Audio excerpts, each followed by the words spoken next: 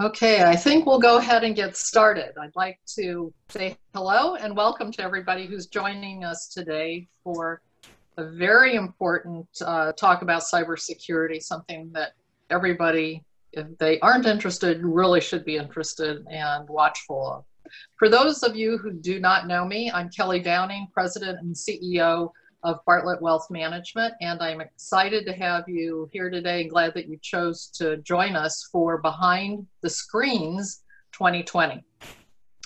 Uh, at Bartlett, we recognize that cybersecurity continues to become increasingly important for all of us as we prioritize the safety of our clients and our safety measures for the company as well. Joining us today, we have two experts Neal O'Farrell, who some of you might have seen um, in a, a, previous seminar, and we have Brett Johnson uh, joining us for the first time today. Bart, Bartlett has partnered with Neal since 2019 as Bartlett's exclusive cybersecurity expert, and he told me today he's been doing so much for us that he needs a birthday present uh, next time his birthday comes around. Neal is the brains behind Bartlett's online cybersecurity education center, uh, which can be found at uh, bartlett.thinksecurityfirst.today. Some of you may remember attending Bartlett's cybersecurity presentation last year when Neal hosted it. So we're welcome, we're excited to have him back today um, by popular demand. Neal has spent nearly 40 years fighting cybercrime and identity theft around the world. And today he will host our discussion with his partner in crime, literally. Brett Johnson was the first cyber criminal named to the FBI's most wanted list in 2006, as well as one of the founding members of what we know today as the dark web. I'm not sure I still understand what the dark web is, but maybe he'll enlighten us today about that. Brett was described by the Secret Service as the original internet godfather.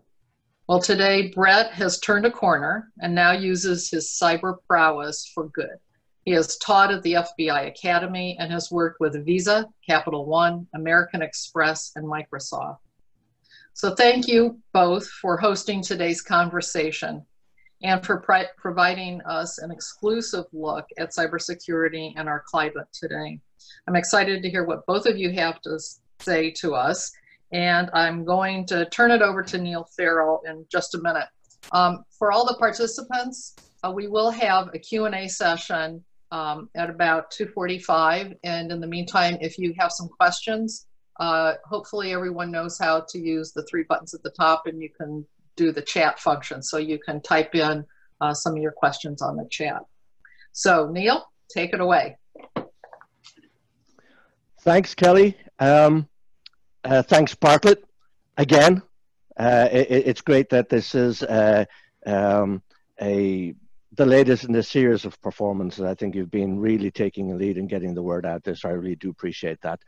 Um, so yeah, over the next uh, hour or so, we're going to take you inside the world of cybercrime and identity fraud, hopefully in a way that you've never seen or been before. Um, I'm going to dive straight in. Brett, can you hear me? Are you there? I'm here, Neal. How are you? I am wonderful. So you're coming to us today from sunny Birmingham. Well, it's not so sunny today, but hey, it is what it is. Okay, so that's Birmingham, Birmingham, Alabama, not Birmingham, England. Birmingham, Alabama. Yes, sir. Okay, no sunshine there. Okay, okay. So we're going to start off with a, a, a simple trick question. And I like to open these a little bit casually. So let's start with this. Pick a number between 1 and 10. 10. Wrong. I thought you'd get this. Six trillion. Six trillion. Ah. I thought you'd get this. Okay, so we'll have to have a talk afterwards. But six trillion dollars is the amount that we're losing every year to cybercrime and identity theft. And in the old days was partly to guys like you. Um, that's you know one of the frightening array of numbers that are the reason probably that we're here today. So we think we're losing about six trillion in in in, in losses and costs and security and fraud um, a, a year. Cyber criminals are making about a trillion, a trillion and a half from that, according to various estimates. Um, data breaches. We're losing, I think the most recent estimate I saw last year was 15 billion um, records exposed in data breaches just last year. And I, I, we talked about this before. When I was a lad, cybercrime was meh. You know, it was only millions. That was huge. And as I was growing up, it, became uh, buh into the billions. And um, now, as I grow older and head off into the sunset, we're up in the, tr- the trillions, and everyone's going meh. So what? And I, I think part of what we're going to do here today is, you know, unravel the um, the so what. So We've also got identity theft still claiming a million new victims every 30 days, one every two or three seconds. It's costing them in out of pocket expenses three, three and a half billion. Um, and then COVID came along and the numbers started to look really bad, right? I mean, we, we yeah, again, we're talking about this the other day that the world of cybercrime uh, relishes disruption and distraction.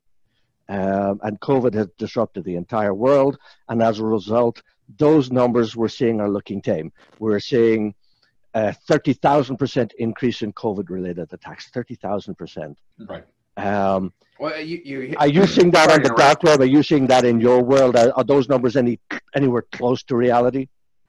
The, the thing about COVID is, is COVID and the world at large today has, has basically caused a 180 with the way cybercrime operates. It used to be, and when I was running Shadow Crew, Shadow Crew was a teaching environment as well as just a platform to buy and sell criminal products.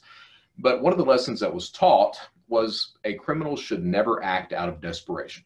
Mm-hmm. Because you're desperate to gather data. You're desperate to lose data before the data dies. You're desperate to cash out, to put cash in pocket before a financial institution freezes the account and you can't get the money out. So there's desperation on all facets of criminal activity online for the criminal. What COVID has done is it's done a 180. It's caused a 180 in that paradigm. So now criminals are no longer desperate. Criminals are calm, cool, collected, and calculating. It's the individual, the citizen, that's now desperate. We've got 40 million Americans out of work now. We've got businesses that are in danger of being bankrupt. We've got people who are looking at their retirement accounts and are worried that, hey, what's happening with my retirement mm-hmm. funds now? Are my retirement funds going to be stolen? What's going on with that? So now it's the individual that's desperate and the criminals are not. And because of that, we see these cybercrime numbers going through the roof 30,000%. Honestly, Neal, I'm going to tell you, I think that may be low. It's a field day for criminals right now. Every single type of fraud and crime that you can imagine is wide open across the spectrum right now. Yeah, and what a, I, I remember having this conversation with someone else. In fact, it might have been you. I said one of the bright spots in this is that we've seen identity theft victims, uh, the number reduce in the last couple of years from little over 16 million to last year a little over 13 million. And you know still a million a month. It's still not sure. anything to get excited about. And i remember in fact it was you because you said yeah it's not time to celebrate because it doesn't mean that they're not after you. They're just chasing something else. And it brought me back to a com- to um conversation I had a couple of years ago. I was at a uh, a, uh, a panel event in San Francisco, and we are talking about these numbers of nine, ten billion rec- you know billion records being exposed in data breaches every single year, and how awful that was. And someone in the audience put up his hand and he said, "Well, look." If we're losing all this information, if we're losing all our information many times over every year, why are we not victims of identity theft, all of us, many times over every year. And the kind of the panel was going, hmm, uh, yeah, no good answers for that. And I remember my kind of smarty, snarky self said, it's called the, um, uh, the net effect. Not enough thieves. And, and, you know, people laughed, people smirked. I felt kind of a little embarrassed. But I actually meant it. Uh, what we saw on, the, on, on, on the dark web and in surface web and all crim- criminal enterprise, we have these torrents, these tsunamis of stolen data, and not that many thieves out there who are capable of weaponizing and monetizing the data. And kind of the, the word was, well, just, you know, wait your turn, sit down, be patient, your time will come, you will be a victim. And I remember saying at the end of it, what we need to fear is when they automate their attacks. And You're absolutely right. Here, here's the, the thing is, is that we need to accept that all of our information has been compromised. Right. This idea that, that there's something that we can do to make sure that our PII has not been compromised, that, that ship has sailed. Our PII is readily available from websites like RoboCheck, where I can buy anyone's social security number and date of birth for, I think it's $4.40 right now. Right. To uh, data collectors, legal data collectors like BeenVerified or Spokeo, where you can pull background checks on people, unlimited background checks for $24 a month. Right. Everyone's information is readily available. So if we understand that, if we accept that, so just last year you had uh, 2.6 billion records compromised. That's on the low estimate of 1,500 just reported breaches just last year. Okay. Right. So everyone's information is out there. So we need to accept that. Once we accept that and understand, the more popular you are, the more money you make, the more likely you are to be a victim. All right. Mm-hmm. That, that criminals don't look at people who don't make money. They're, they're, we, are looking, the people, person I used to be, we look for money. That's what we want. So right. we're not going to go and get somebody that's a taxi driver. Not that we won't victimize a taxi driver, sure, but the money comes from more high profile targets. Right. So you need to accept that your, your information has been compromised. Once you accept that, what can you do to make sure that if a thief has it, that he doesn't use it? Yeah, and that, and that's when we switched from identity theft to account takeover, which was really scary because identity theft you can usually make it go away pretty quickly. You call your credit card company, they cancel a card.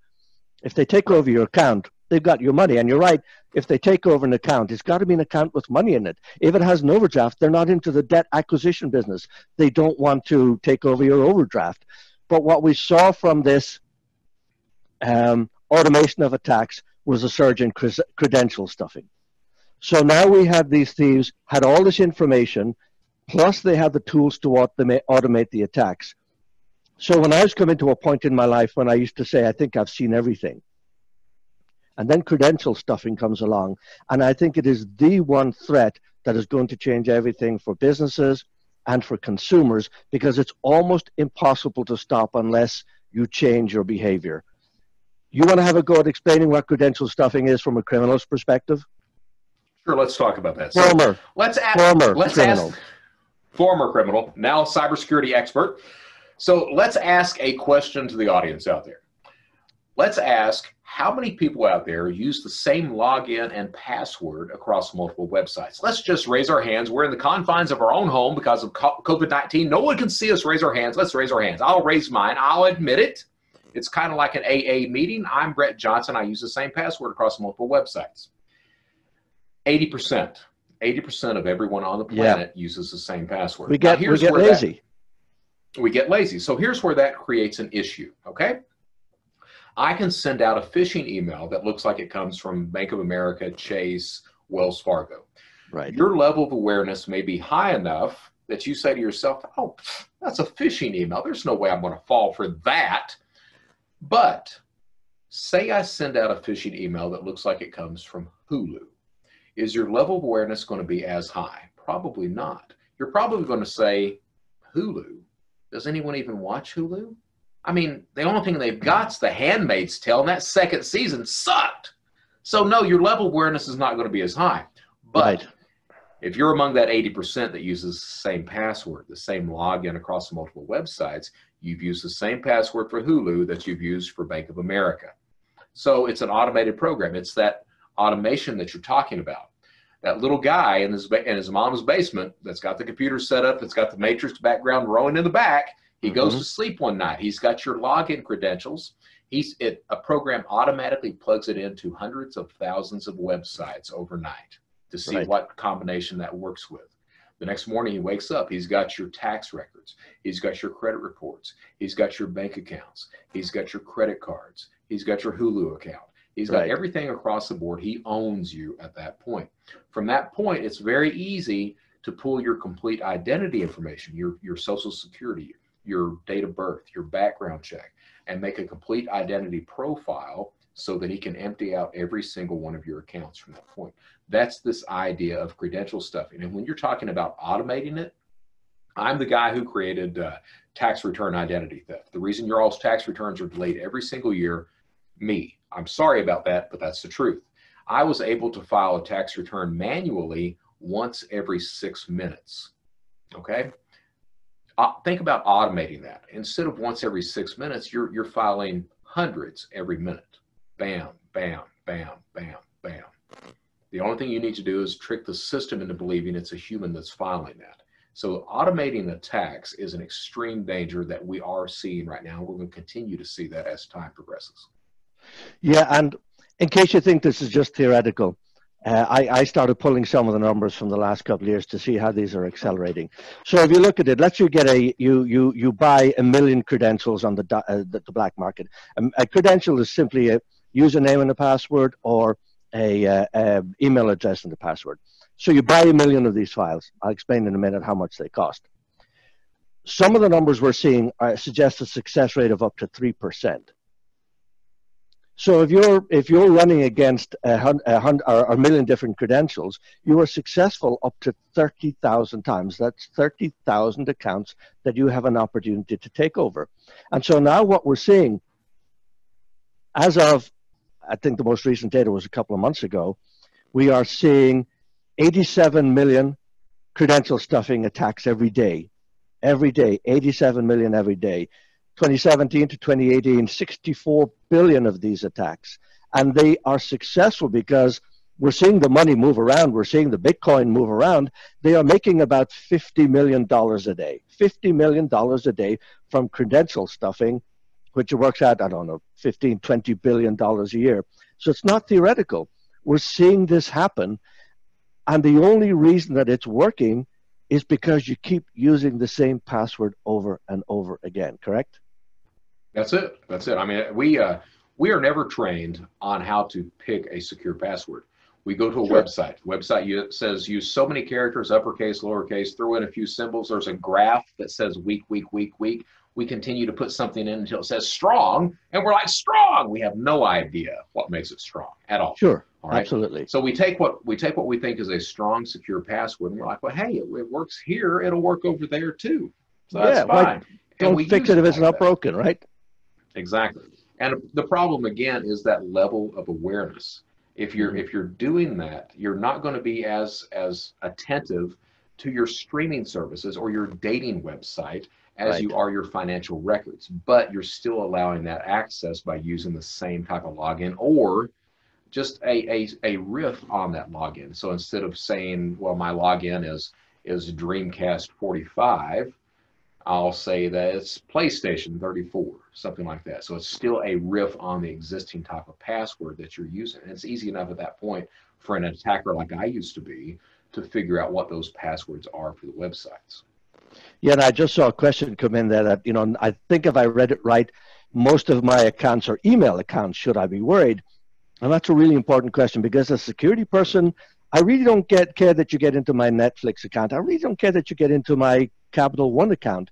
If you get into my personal email account, you'll get 15 years of everybody I know, everybody I've done, I, have I've done business with. You'll get attachments. You'll get uh, uh, you'll get all my contacts. You'll be able to figure out the name of my favorite teacher if I had one, and I'm not saying that I did. You, you'll figure out the name of my first pet, my, all, you know, all the all the secret answers to those security questions.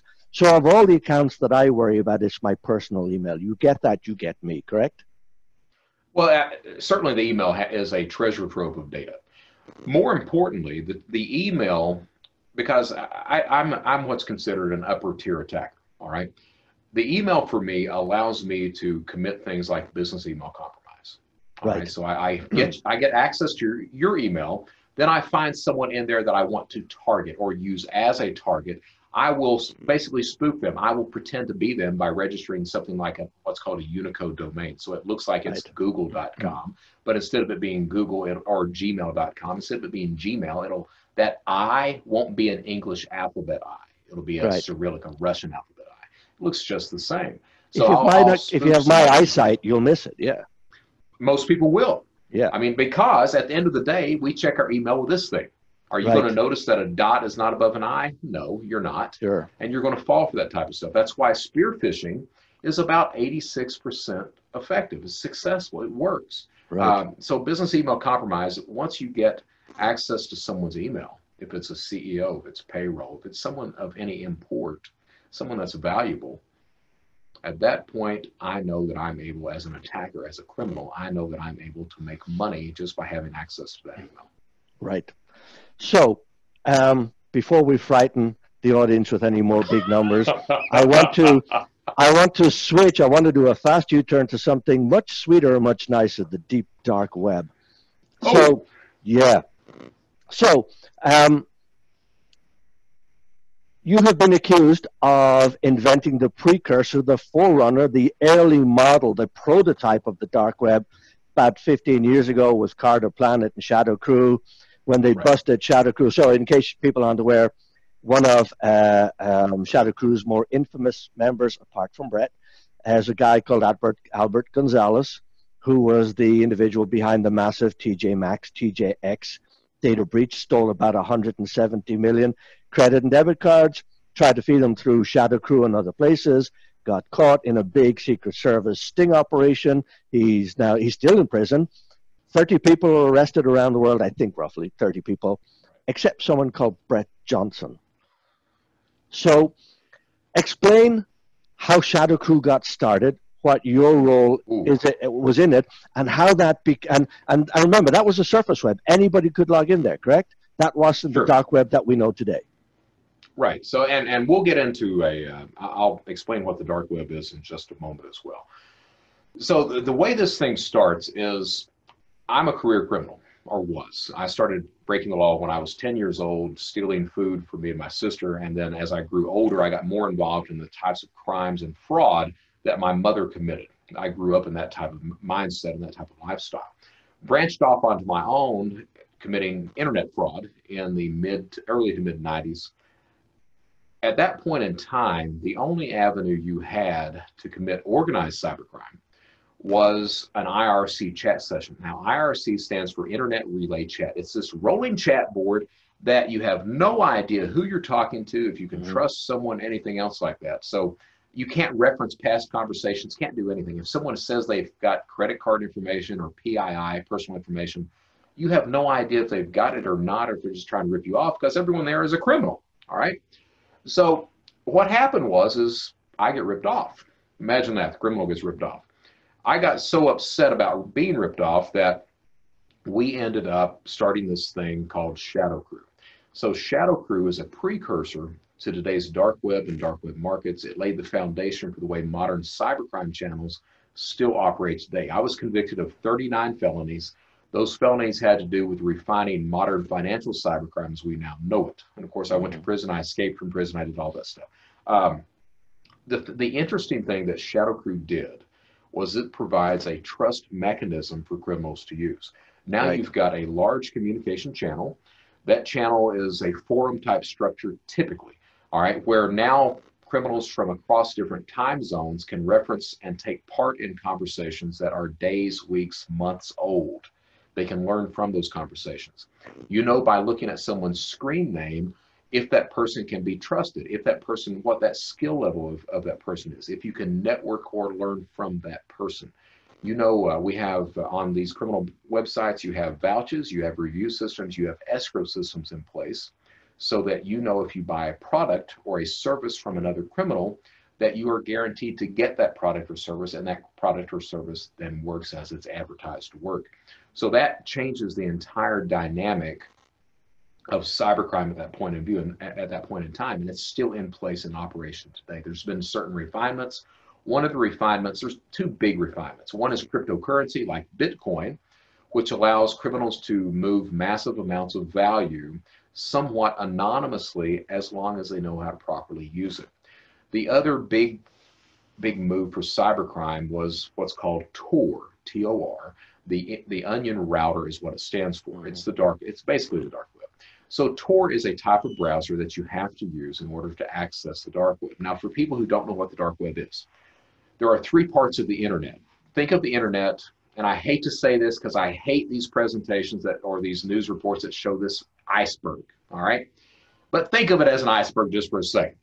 You have the surface, you have the deep. So the surface, the surface web, you have the for, for the internet, for, you have the surface web, the deep web, and then the dark web.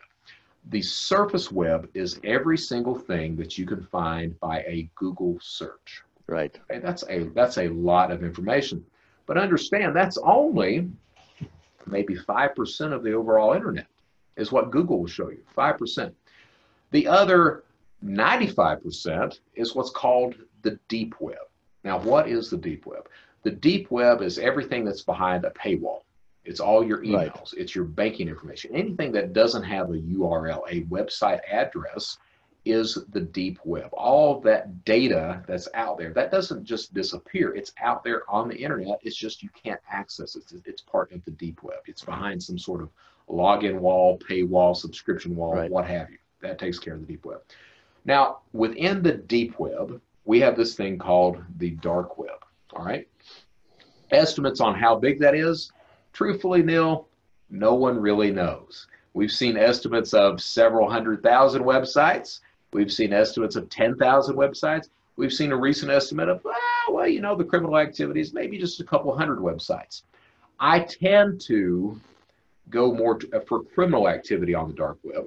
I tend to go more toward that of just a few hundred websites mm. is the only thing that it consists of. All right.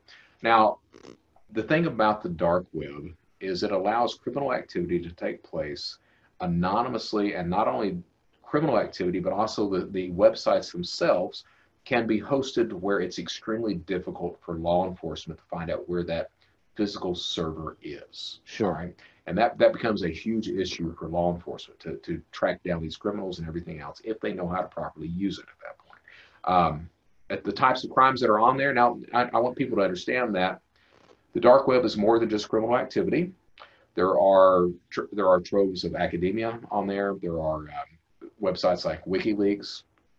Uh, the dark web is used for U.S. operatives to be able to communicate with each other. It's used for people who are behind or, or citizen, country's citizens who can't get past their sure. country's internet, like China, like Cuba. It's used for those people to be able to get word out, to be able to access information that their country doesn't want them to access. So there are good parts of the dark web. There are criminal parts, and when I say there are criminal parts, it's it's financial cybercrime, it's child pornography, it's uh, it's red rooms, so these torture rooms, those right. are existent. It's drug trafficking, it's um, human trafficking, it's it's hitmen. So you have murder for hire, you have things like this that all take place on the dark web. The good news is for the people out there listening, you don't need to visit the dark web because here's what actually happens. For financial cybercrime, yes, a lot of that is bought and sold on the dark web, but the actual crimes, they don't take place on the dark web. They take place on the surface web. You gather the data, buy it and sell it on the dark web. That you're not going to stop that. But the actual crimes, the victimizing of people, the still the the takeover of accounts, things like that, that takes place on the surface web. So that's where people need to be concentrated because most crime, I'm going to say 97, 98% of crime takes place on the surface web. And that's where people need to be concentrated. Yeah, they, they need to understand that kind of cybercrime circulation system. The information is stolen from the internet that we all know. It's stolen from uh, your social media if you're not setting it to private. It's stolen through data breaches, stolen through all right. kinds of mechanisms. It circulates down to the deep web. It's bought, it's sold, it's refined, it's analyzed with the tools that they have now it's weaponized and organized so that it can be used to commit crimes, and then it comes back up to the surface web to, to commit the crimes. The, the dark web you have no control over, but the, the, the, the entrance and the exit you have a lot of control over. Set your uh, social media accounts to private. Uh, protect your personal information. Guard your identity. Uh, uh change your passwords often. Uh, and then when it does, so they're not getting that information. And then when it does come back, come back up, again, not reusing your passwords, using multi-factor authentication. So simply having a username and a password is nowhere near enough. So don't worry about the dark web is, is the message. But back to a point that you mentioned earlier, um, there may not be that many sites on the or marketplaces on the dark web, but they are making an awful lot of money.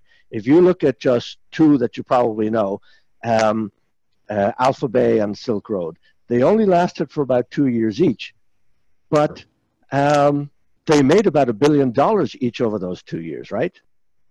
So it's estimated um, Silk Road, yes, made, a, made about a billion dollars. The more recent one was Alexander Cazes. He had a website called Alphabay. It was on the dark web. 240,000 members on that website. It was shut down by worldwide law enforcement, July 5th of 2017. When it was shut down, it's estimated now they, they the federal law enforcement confiscated around $24 million from Alexander Cazes. What most people don't realize is, is that was not all of the money that was on the site at the time because the way these marketplaces work, each user has a wallet on the marketplace that holds so much Bitcoin. You can fund it. It's like a bank account that's on on, on the marketplace itself. The missing money that was on Alphabay is around $700 million. That's how much money was just there when the site was shut down that law enforcement never got to touch.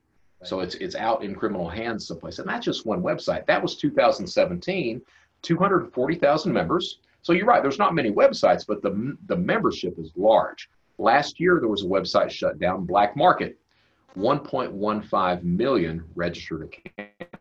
Numbers continue to grow, and that's just one website, just one website. And if you've got hundreds that have a million members, all of a sudden you've got a lot of criminal activity taking place. Okay, so I just got a message there. Could I please fix my audio? Can you hear me?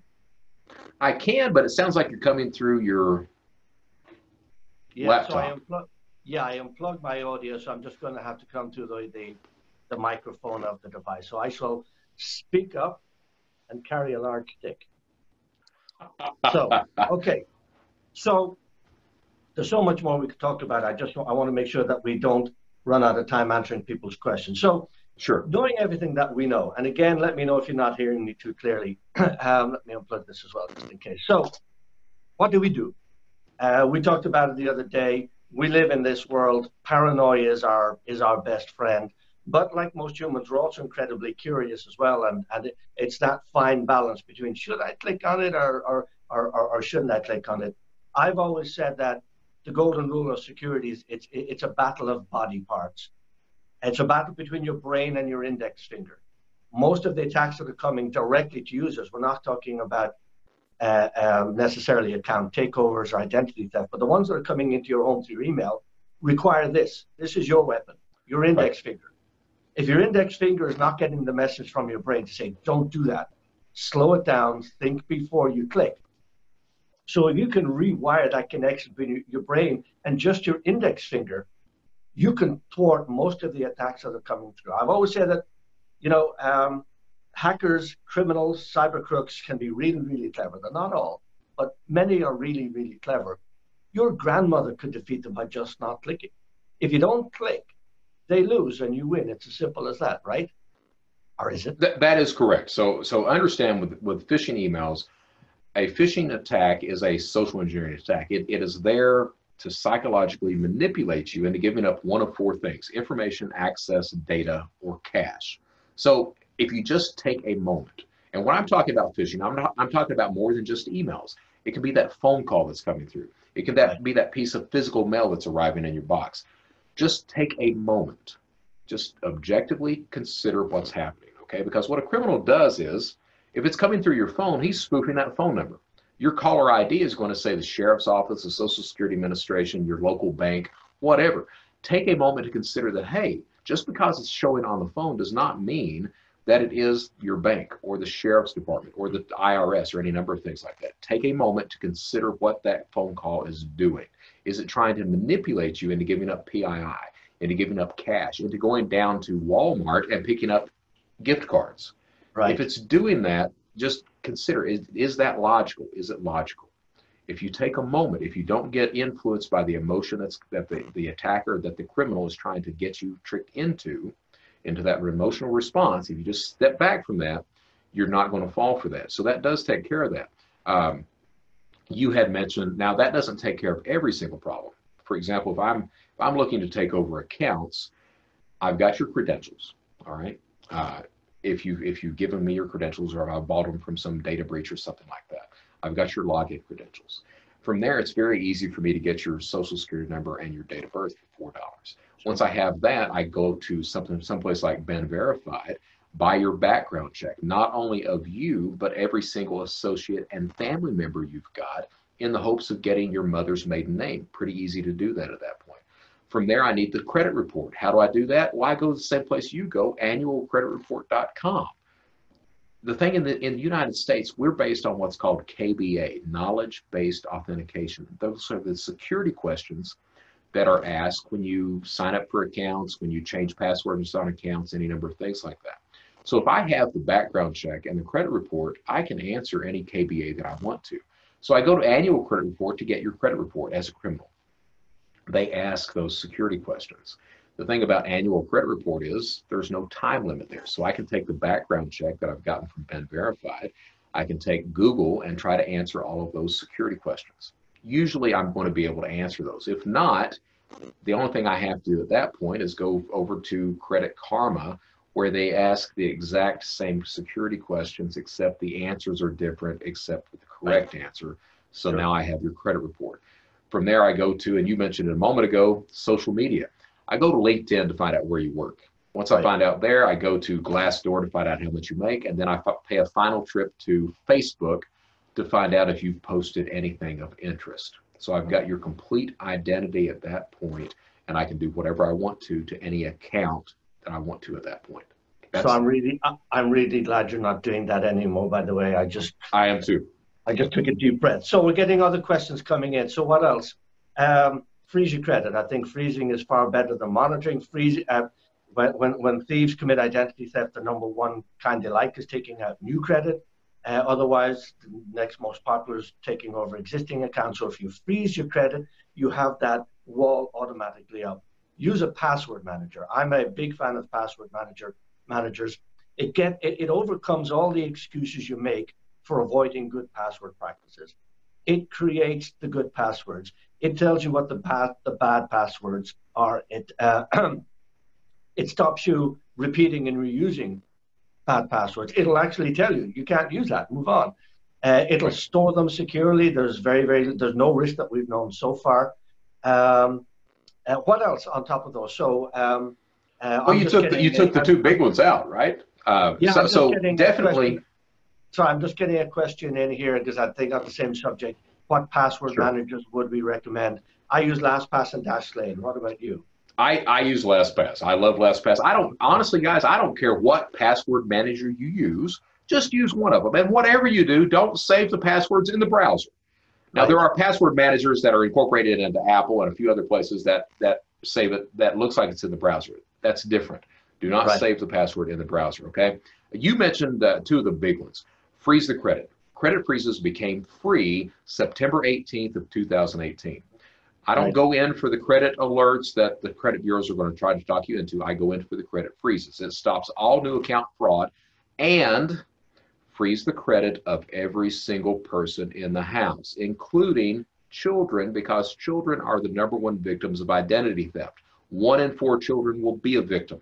So freeze right. the credit, period, credit freeze. The next thing is, is understanding, you pointed that out a second ago, a credit freeze stops all new account fraud. Okay. Right. So it works great for kids. For adults, it's still new account fraud. Those existing accounts can still be defrauded and taken over. So you have to monitor all accounts as well. Place alerts on the accounts where you can. For example, Discover Card has a zero dollar alert, meaning that if a criminal gets your your Discover Card information, if he just pings it to see if the card's still alive, you get a text message saying, right. hey, someone's trying to use your card. Sure. Take advantage yeah. of it. Pay attention to the alerts, put the alerts in order. Monitor all accounts because nowadays, when I was a criminal, the only accounts that mattered to us were credit card accounts, bank accounts. Nowadays, all accounts matter your retail accounts, your email accounts, your tax records, everything across the board matters. So you have to monitor all accounts, make sure you can access all accounts and control all accounts. Yeah, and somebody posted a question there just a second ago. Um, lying about those secret answers. I think she said that her middle name or her surname, perhaps, or her brother's name, her brother's name, I think, maybe, was Dog's Breath, which obviously there's some family issues there that we're not going to dive into. But I mean, sure. so so a common question that I get asked, in I you know, for a, a bank account was what was my favorite car, and sure. my answer is not a Maserati. Right. And now here's the problem with that. No one's going. Right, no one's so, going to get. No one's going to. So you can lie, and you should lie as long as you can remember what the answer to the what the lie was. That's the problem. Well, but here's the issue with that. Okay, sure, you can you can tell lies all you want to about the security questions. about Right. the mother's maiden name, about the first car, color of car, anything else like that. You can tell all the lies that you want to tell. At the end of the day, if I decide to spearfish you, which means I'm I'm creating a Right. phishing attack specifically for you. I've pulled your background check, I've pulled everything else. And I'm going I'm wanting to ask those questions. All right. So I take over your account. I'm going to know that you've said, hey, my my husband's my mother's maiden name is dog's breath. All right. I'm going to have that answer anyway. I'm going to ask you that question. You're going to tell me the same incorrect answer on the phishing attack. So I still have the answer that I need at that point. Right. The problem is is that we as a nation are still relying on those security questions. And that's the fault that criminals exploit at that point. We have to move to multi-factor authentication too, so that there are better ways, much better ways to do this, uh, or maybe a an ECG scan on your watch that confirms to everyone that you're the only Well, well, person. certainly MFA. It's hard. Yeah, it's Right. certainly We, coming we need MFA. MFA biometrics, those are those are right now the the wave that we're going for. Absolutely. Right. So for the audience, MFA means multi-factor authentication. A simple example is when, for example, with the with their Gmail account, if they ask ask you to add a mobile number so they can verify, that's a factor of authentication. An iris scan, a fingerprint, that's a factor of authentication. Multi seems simply means there's more than one. One of the questions that came in was, um, what was that other password manager I was referring to? It's Dashlane, D A S H L A N E. And I should say, so I've worked with uh, uh, Bartlett on these educational resources before. They have a lot of that information on their website anyway, and if they don't, they can share it with you. So don't get too paranoid about missing any of the answers here. They will be there. And there was a question about a credit freeze, how you do it. A credit freeze, and I have to say that the credit bureaus fought this tooth and nail. I remember, I think it was 2004, 2006 in California. They spent millions of dollars trying to persuade the California legislature that this was the worst thing that was going to happen to the credit industry. They lost, fortunately. But a credit freeze, simply go to each credit bureau, the three main consumer credit bureaus that you'd be familiar with Experian, Equifax, uh, TransUnion. Place the freeze. They will ask you for your information. It's entirely free of charge to do. It's now, thanks to legislation that just came in, I think it was last year, free for your kids too. Um, a, a, it's instant. You don't have to wait days. They will generate a PIN for you, protect the PIN, make sure that you don't lose that. And you can unfreeze temporarily or permanently at any time. It's a fantastic solution, but I have a word of caution because I've seen this. When people freeze their credit, they think they're now fully protected from identity theft. They drop their guard, they get apathetic. A credit freeze protects you from only one kind of identity theft, and thieves have a thousand. So, I, I agree with you completely. okay, so um, just to make sure that we have enough time here, we've, we've got plenty of time, uh, I think. Yeah. Um, so, um, when we were talking about the COVID scams earlier, um, one of the questions that was coming up with some people I was talking to was uh, Does it matter how affluent you are as far as these crimes are concerned? And kind of my first answer was no, and my second answer was maybe. And the, I mean, the first thought was obviously so many of these are spray and pray attacks. They are just sending out millions of, of, of, of, of emails, of phishing emails, and they really don't care who responds to them. But there are certain types of attacks, and again, quite often in email, that if you are more affluent, either they will recognize it and follow up and be persistent, maybe do the research, or you may actually fall for them. Three that come to mind charity scams. So we are seeing a wave, a tsunami of charity related scams. And what we what we know from history is that the more affluent you are, the more likely you are to be involved in philanthropic projects.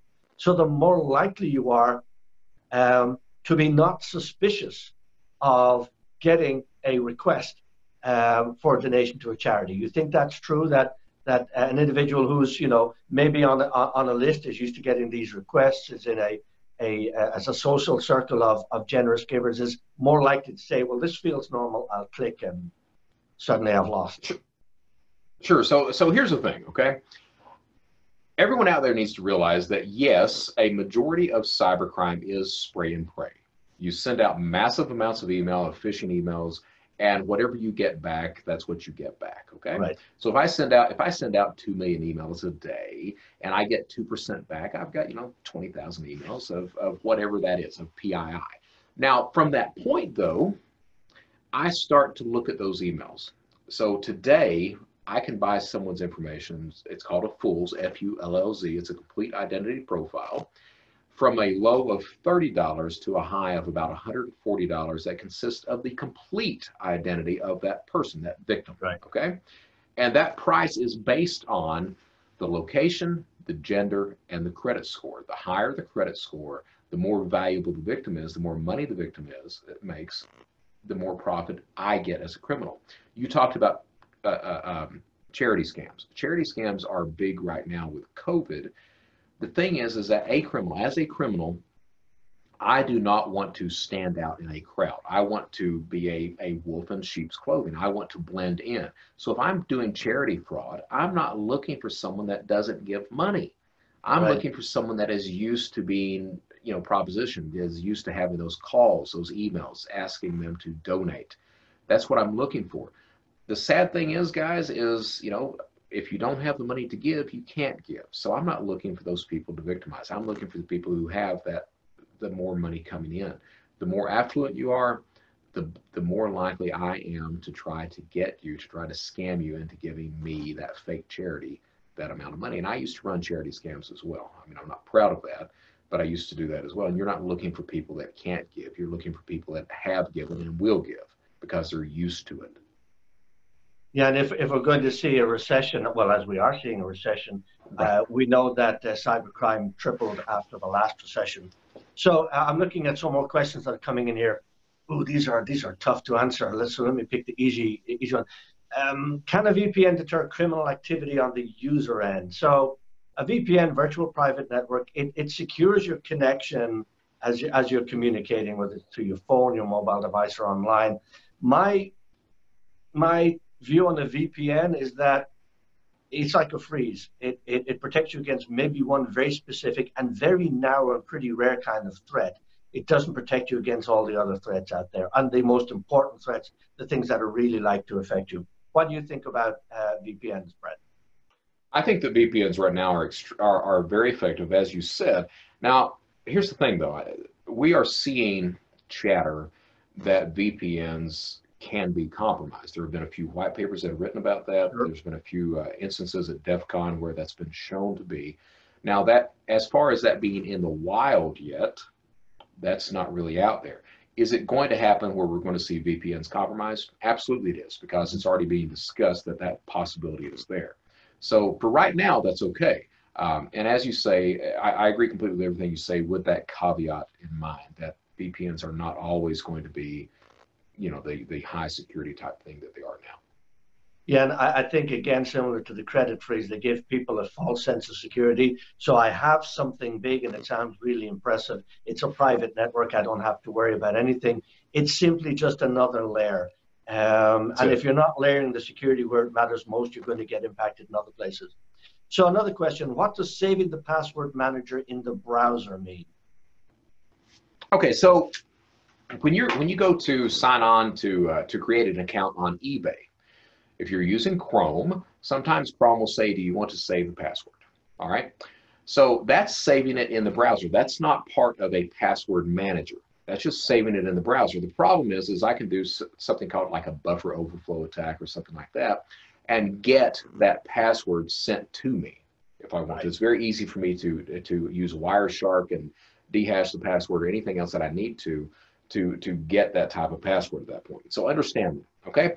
Now there's a thing called a password manager that is part that can be part of the browser too. So understand there's a difference between a password manager saving that, that's asking you as you're as you're signing up for websites, do you want to save the the password, compared to the browser just saving it. If it's just browser saving the password, that creates a huge issue all of a sudden. Okay. So understand the difference, but always use a password manager because again, we as human beings, we do not, we think we're being random. A human being, a human mind is not random. We always have some sort of, of predictability to it. Okay. So a password manager takes that out of your hand. use a password. So another another follow up on the credit freeze. Do you need to um, freeze with all three bureaus? Yes. So Yes. what some people do. So what I used what I used to do, I would freeze two and leave the and monitor the other. So I'd freeze like an Experian and, a, and a, an Equifax and and monitor TransUnion because the benefit of monitoring is if they have your information and they're trying you, your monitoring service will tell you that you're there. There you you're now in their sites and you, you, you might need to take other precautions. If you've frozen all three, you're not going to get any pings or alerts because they'll be instantly blocked, correct? I mean that that's not a bad idea. It's it's truly not. I I typically freeze. That's what I do in my life. I freeze all all three across the board, uh, and just allow if I'm going to get a car financed or something like that, I alert the credit bureau that is going to be paying for the uh, for the application for credit, and they lift the Sure. uh, the freeze long enough for that. But that's not a bad idea at all. I could I could I could get behind that idea as long as here's the caveat to that. As long as you're paying attention to the credit bureau that you've not gotten the freeze on. Uh, we as human beings, we start to we start out very diligent, very vigilant. We pay attention to all these things, and as time goes on, we become lazy. It's normal. It's natural. It's part of being a human. So if you're going to get lazy, you need to freeze it. Okay, that's what I would say. Right.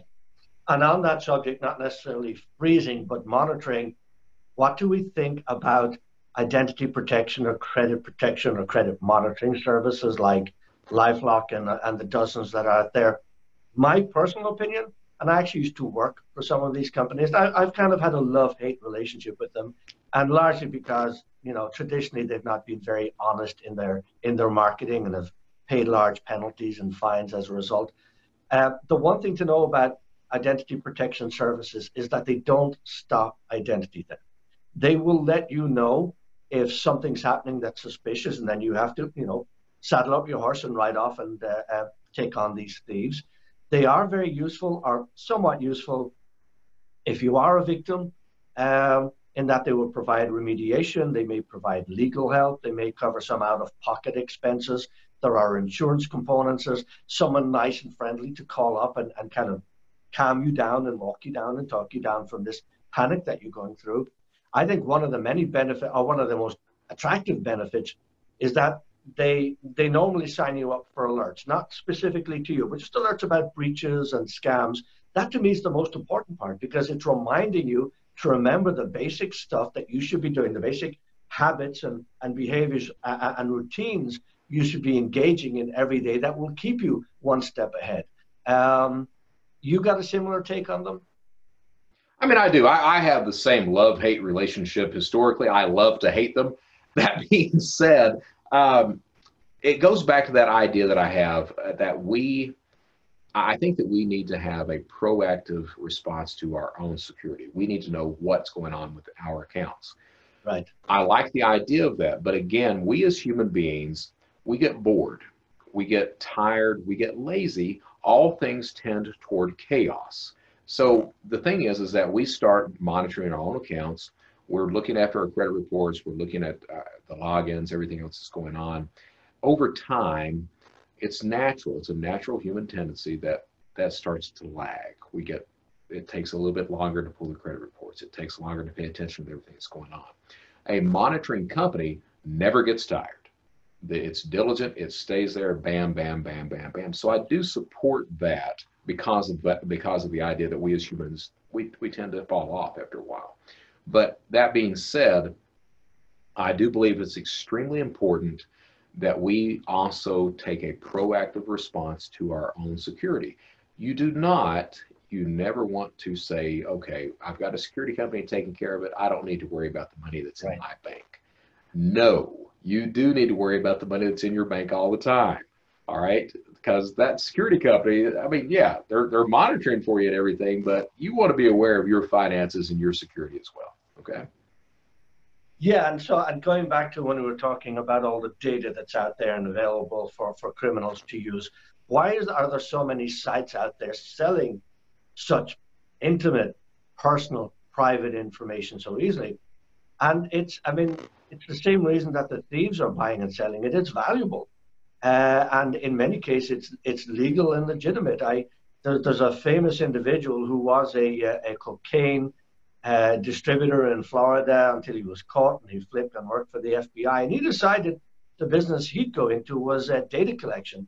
Um, and he amassed this treasure trove of billions of different files uh, on just about every human in America and just about every piece of it. He was getting, I think, at one time, 10,000 different sources. I mean, he was buying information from uh, cities and counties and police departments on driver's licenses, on uh, uh, license plates, and he was amalgamating all this information and then selling it to private detectives for a couple of bucks a go. And it's not, it wasn't legal then, and it's not legal now. And I remember someone from one of the, the three credit bureaus saying that they have more information on more Americans than the CIA, the NSA, and the FBI combined. So, you know, if if I'm a, a, a thief and I don't want to play, you know, pay black market prices for your data, I can go to a very legitimate site and get almost the same amount of data there, correct? Absolutely. As, as I pointed out, I mean, at the end of the day, in today's world, the only thing of value is information, data. That's what matters is data. So from a criminal point of view, it's easy enough to get that. But criminals rely a lot on legal services like BeenVerified, um, Point, TLO. TLO and Delve Point are these skip tracing type background check software lookups that when you do a background check pull on one of those services, and a criminal can do that for you know twenty dollars if he does it illegally, or he can go and sign up for Delve Point or TLO and get the account pretty easily himself.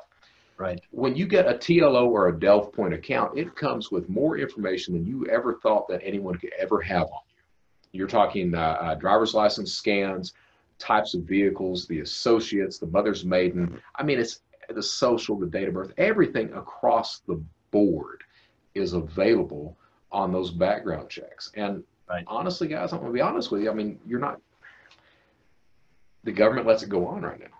I mean, you're not going to stop that. I mean, it's uh, this type of stuff. Someone like me, that's like I used to be. It's easy enough for me to get that data and use it however I want to use it as a criminal. But understand that it's not just criminals that have your data. It's most companies have access to the data anymore.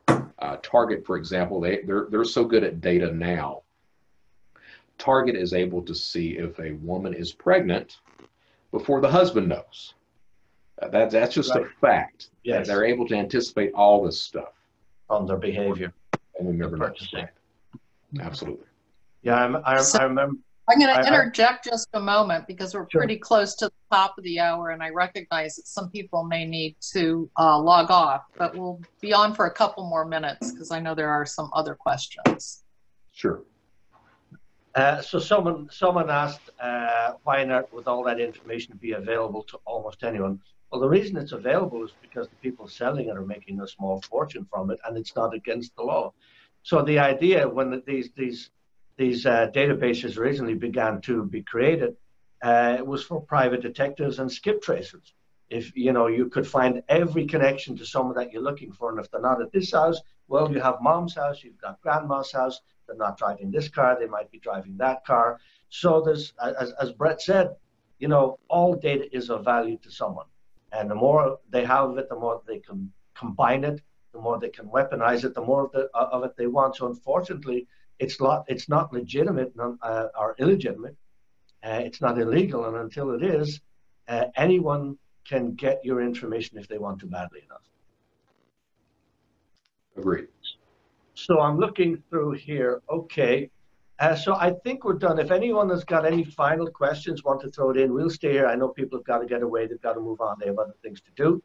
Can't think what. So interesting. But um, uh, if anyone wants to uh, keep chatting. Brett and I are, willing to keep chatting. If you want to follow up afterwards, Bartlett can uh, help you with that. And again, Bartlett have got some fantastic resources that listed a lot of the, the tools and the precautions and the tips and the behaviors that we're talking about. So by all means, uh, contact Bartlett and uh, um, uh, ask them. Neal, I do have one quick question.